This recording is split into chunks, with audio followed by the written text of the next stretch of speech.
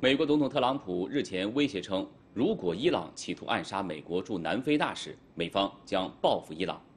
对此，伊朗政府发言人拉比伊十五号回应道：“搞暗杀的正是美方。”他还警告美方不要犯下战略错误。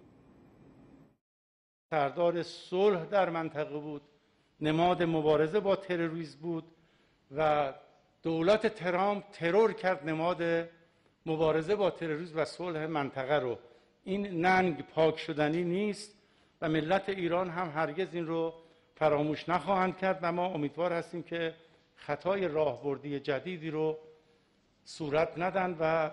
قطعا در صورت هر گونه خطای راهبردی مقاومت ایران پاسخ مناسب خودش رو خواهد داشت. 美国政治报网站十三号援引来自美国情报部门的消息报道称，伊朗就苏莱马尼之死继续寻求报复美方，正在考虑暗杀美国驻南非大使拉纳马克思。报道推测，伊朗将拉纳马克思作为暗杀目标之一，可能源于他与美国总统特朗普私人关系密切，两人相识二十多年。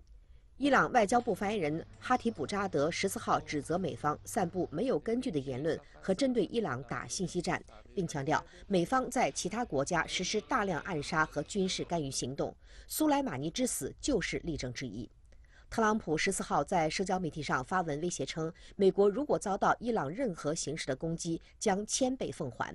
他还写道：“根据媒体报道，伊朗可能在策划针对美国的暗杀或其他攻击，作为对苏莱马尼之死的报复。”